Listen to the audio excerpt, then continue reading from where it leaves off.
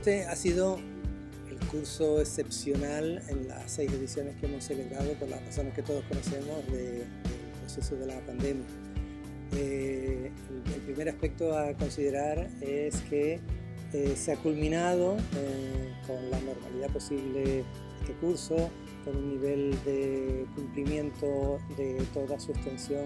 por 14 alumnos, en esos tres módulos que lo constituyen, que es el módulo de gestión turística, de vitivinicultura y enología, y la doble fase de análisis sensorial de vino, en la que hacemos una primera etapa de iniciación conociendo eh, herramientas e introducción a lo que es la análisis sensorial para terminar con una fase en nivel avanzado haciendo catas eh,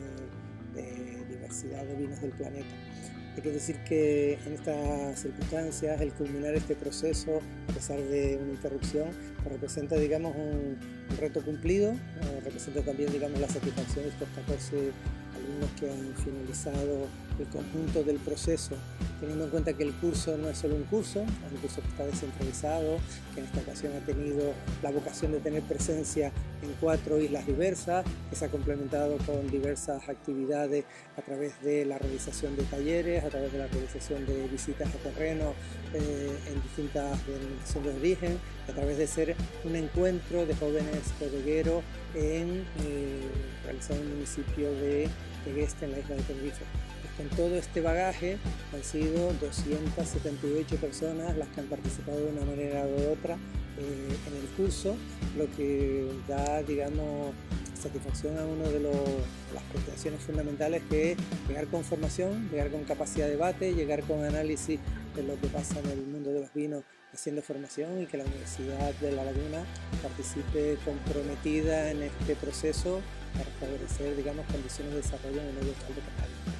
Un aspecto, un aspecto muy interesante que tiene el curso es que eh, hace extracción de públicos distintos. Eh, esto es un hecho que se ha ido digamos, presentando en los últimos años. En primer lugar, hay un público mayoritario femenino y esto es digamos, una nota característica que se ha venido digamos, acentuando. Hay un eh, público que está interesado en conocer el mundo de los vinos, que no es nativo de la cultura del vino, sino que llega por distintas razones, desde la curiosidad hasta la inquietud generada a partir de que el vino ha constituido digamos, un elemento de moda, pero el vino no nos olvidemos que es un eh, producto aspiracional. La cultura de vino eh, conlleva digamos, a definirse, identificarse en una diferencia de estatus, gastaduría de prestigio en cuanto a los conocedores. Eso es algo que se ha ido arraigando en la sociedad y de esto vemos en el, contexto del curso. Entonces, esta última edición celebrada ha tenido, por supuesto, porque no puede ser de otra manera, digamos, procesos de especialización de personas que participan en... Eh, de bodegas, eh, de personas que están vinculadas al sector de otra manera a través de tiendas o sistemas de comercialización, personas que tienen extracción, por ejemplo, del, sector de la administración pública con distintos compromisos, o personas incluso que no, no tienen, digamos, una, una afinidad respecto a, la actividad vitivinícola y que llegan, eh, por ejemplo, hablando en el caso concreto de personas que están dedicadas al diseño gráfico o personas que están dedicadas al estudio de sistemas de vending que hemos tenido en el, y que por lo tanto da también idea de cómo es la cadena de valor de lo que podría ser, digamos, este sector agroalimentario en muchas facetas diversas, en la faceta del marketing digital, en la faceta de los nuevos diseños, en la faceta del desarrollo de nuevas experiencias, por lo tanto, un universo de personas muy diverso que contribuye de una forma también muy especial a enriquecer el curso, porque, porque el curso es, digamos, en sí mismo un producto experiencial. Experiencial in situ, experiencial en las clases, experiencial sensorial por todos los sentidos, eh, eh, es, territorial, con la diversidad territorial y el acceso a distintas partes de Canarias, por lo tanto es una formación integral de valores para la persona, apreciando lo nuestro, la cultura, cómo se hace, el territorio, para reconocer como una formación que se proyecta al futuro. Pues mira, me metí por varias razones. Una porque tenía mucha inquietud sobre el vino, sobre el tema del vino y quería tener conocimiento, intento no hablar sin saber.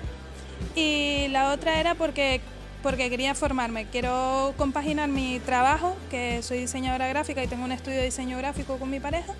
y quería compaginarlo con el tema del vino, unir mis dos pasiones de alguna manera. Y para eso hay que formarse. Eh, realmente entender y hacerme entender Quiero decir, cuando he tenido algún cliente de este mundo que quiere una etiqueta o cualquier cosa, siempre me gusta ir a la bodega, ver cómo han eh, ejecutado el vino, eh, probarlo, catarlo y ver lo que el vino quiere contar para luego yo contarlo en la etiqueta. Porque hay que contar las cosas,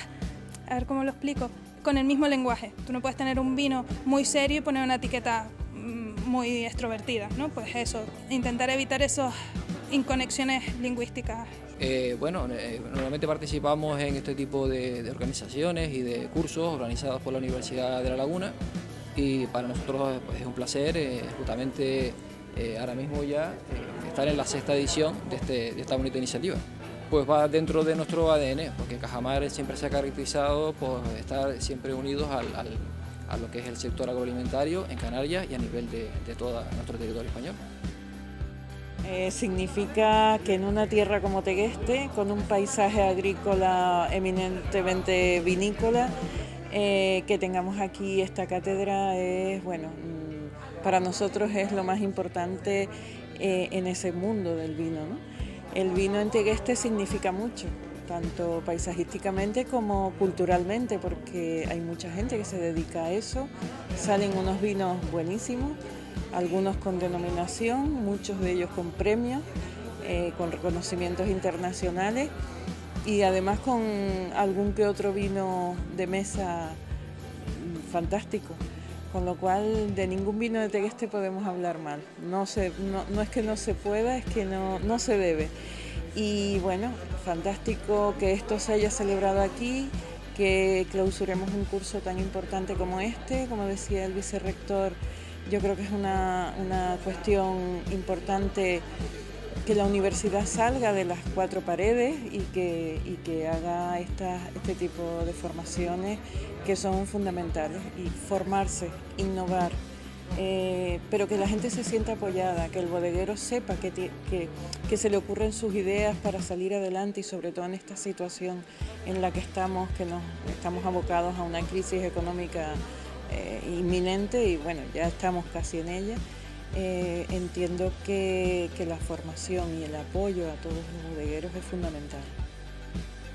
Hombre, pues estamos viendo que es un patrocinio muy interesante dedicado al sector primario, porque vemos que si bien hay formación reglada, también vemos que hace falta complementos a, esa reglamentación en cuanto a que el propio sector no, no, lo demanda. Y en este caso, creo que esa idea de la cátedra conjuntamente de la universidad con, con el ICIA perdón, con el ICA en este caso y con otras entidades es totalmente positiva. Como tú dices, una muestra muy muy clara es cómo se ha desarrollado este curso y dónde pueden llegar esas personas. Igual que también hace unos días presentábamos también otro curso también de, esta índole, que creemos que ese es el camino que tenemos que desarrollar porque para conseguir la profesionalización del sector necesitamos que el sector esté formado para sentarlo y para que haya un relevo generacional adecuado. Particularmente yo siempre lo he defendido que no solo tenemos que hablar de vender productos, tenemos que ver todo lo que se relaciona a su alrededor, en este caso con la uva, con el vino, pero también tenemos que acercarnos al sector turístico como estamos viendo con la finalización de este curso. Estamos sacando de sacarle más rentabilidad, de darle más margen a, las personas que se dedican a estos sectores y que con las leyes actuales permiten que en sus explotaciones puedan aumentar eh, la oferta de sus actividades, con lo cual esa relación agricultura, ganadería incluso con el turismo es totalmente fundamental en este caso un sector de la importancia y de la calidad que tiene en Canarias el sector vitivinícola, creo que este tipo de formaciones y a los que va dirigido y lo que nos pueden dar estas personas es totalmente necesario y sobre todo en, el momento actual que vivimos donde se ha puesto de manifiesto la importancia que tiene el sector primario en nuestras islas. Con lo que me quedo, sin duda, es con el entusiasmo que muestran los alumnos y alumnas que han terminado el, curso. Esto es eh, fundamental, conocer que de hecho entre ellos hay profesionales del sector pues conocer que, que salen satisfechos, que salen entusiasmados y con ganas de seguir formándose, para nosotros es, eh, es un éxito. Es un éxito que esperamos que, además, tenerlos enganchados a futuras formaciones en el futuro.